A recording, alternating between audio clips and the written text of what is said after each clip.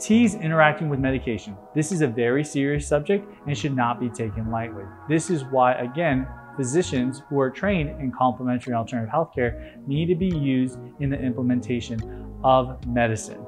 That being said, there are many medicines that are time tested. One of them is chamomile. Chamomile tea. Its botanical name is Matricaria recutitata. This botanical tea has been used for thousands of years. Chamomile tea is used all throughout North and South America, often referred to as manzanilla. Many moms use chamomile tea for their newborns. If they have any upset stomachs, maybe they're stressed, rashes, chamomile tea is one of those universal botanicals that is time tested and often found to be a successful supplement for people who are taking on heavy medications. You might be thinking, wow, chamomile is great, but I need something stronger. This is why Zen's Tea House offers Dream of Flowers.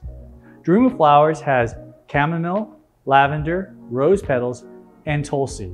It's a very strong blend. There's no caffeine and we make it ourselves. We source it from organic farms and most importantly, it's time tested. Dream of Flowers has been helping thousands. Medical physicians that we work with have used Dream of Flowers for their patients and has been effective in helping with an assortment of ailments. That being said, if you want information about finding a medical physician, you could go to the website www.zensmed.com. That's Z-E-N-S-M-E-D.com. It's one of our newest websites.